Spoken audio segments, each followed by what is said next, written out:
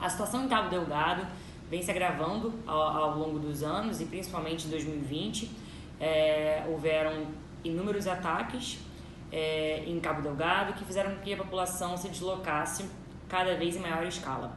Atualmente, o número de deslocados internos está em 424 mil indivíduos é, e esse número só tende a crescer. Essas pessoas são pessoas que se deslocam múltiplas vezes, é, elas se deslocam em, em várias direções, tanto para o sul da província de Cabo Delgado, quanto também para Nampula, Niassa e Zambésia. É, a maioria dessas pessoas são mulheres e crianças, são pessoas vulneráveis, e o Acnur tem trabalhado com o governo, com, é, com também com órgãos locais e com outras agências da ONU para responder às necessidades desses indivíduos que se deslocaram, como também para as populações locais que abrigam muitas vezes esses indivíduos. É, são inúmeros desafios que o Acnur enfrenta. Um deles, claramente, a pandemia do Covid-19 é um grande desafio para esses deslocados internos, por exemplo, que buscaram abrigo em, em, casas de comunidades locais, em casas onde já havia um, um número de pessoas muito grande e com a, com a, a, a adição dessas pessoas dos, dos deslocados internos fez com que é, os problemas nas, nessas casas, nas comunidades locais se agravassem também e para a pandemia do Covid-19 aglomerações não são recomendáveis.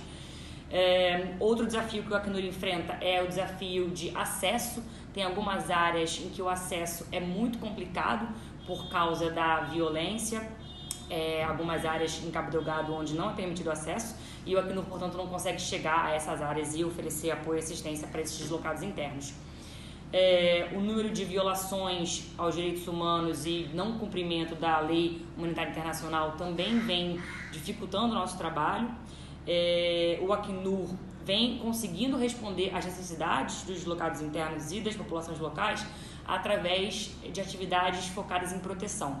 O nosso mandato é um mandato de proteção internacional e a gente tem é, conseguido atender as necessidades deles através das atividades de proteção, como por exemplo, estabelecimento de pontos focais de proteção dentro das comunidades, pessoas que consigam nos ajudar a identificar os problemas dessas populações, que a gente consiga fazer o segmento desse, desses problemas, encontrar as melhores soluções.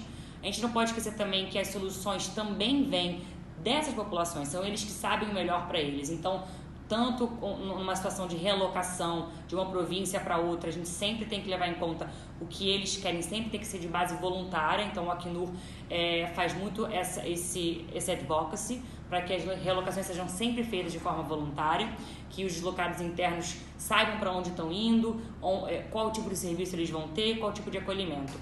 É, atualmente, o que mais a operação necessita? É, recentemente, o Acnur lançou um apelo. A gente tem somente 39% do nosso, dos nossos requerimentos atendidos até agora. Então, falta uma média de, on, de 11 milhões é, de, é, de dólares para que a gente consiga continuar respondendo essas necessidades dos locados internos e das populações locais da melhor maneira possível.